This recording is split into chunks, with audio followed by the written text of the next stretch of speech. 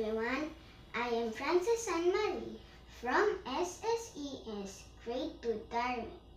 Today I am going to discuss the special properties of liquid. Let us define liquid first. Liquid is a state of matter that has definite volume but no definite shape. It copies the shape of the container where it is poured. Its molecules are moving and are not close to one another. Let's do some experiments. I will show you and explain the special properties of liquid. First experiment. We are going to transfer the colored water from this container to another container.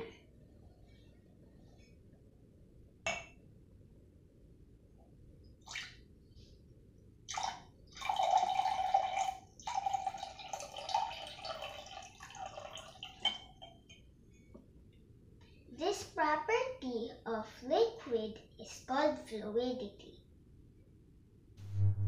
Fluidity is the ability of a liquid to flow. Now let us proceed to the next property of liquid called viscosity. Viscosity is the ability of liquids to resist flowing. Let's do liquid race. In this experiment, we will need three kinds of liquid and a plate. Let us use honey, sweet chili sauce, and oil as our liquid matter. First, put a small and equal amount of each liquid on the plate. Next, lift the plate up until the liquid tray. Let's see which liquid matter will be the first to reach the bottom of the plate.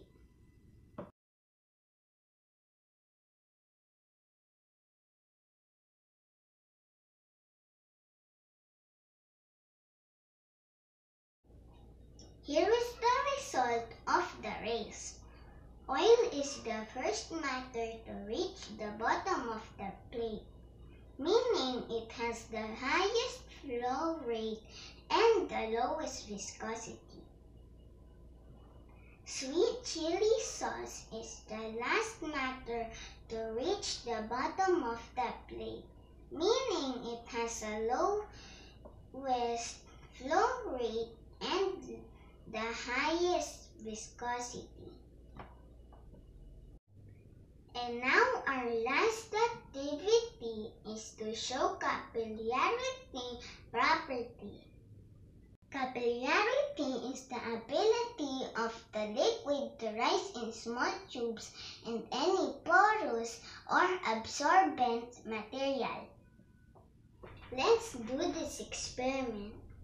Fold the paper towel and place one end inside the plastic container with colored water.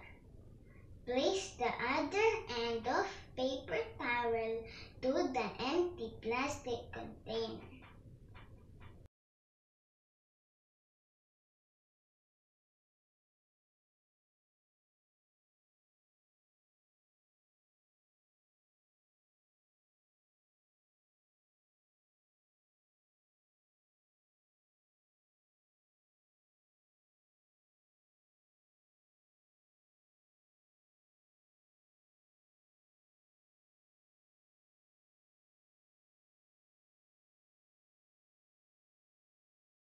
As you can see, the colored water goes up to the paper towel and flows down to the empty plastic container.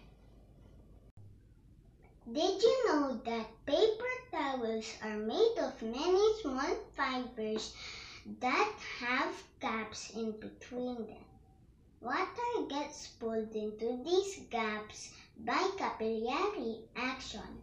And that's for today, guys. Until our next experiment. Thank you for watching.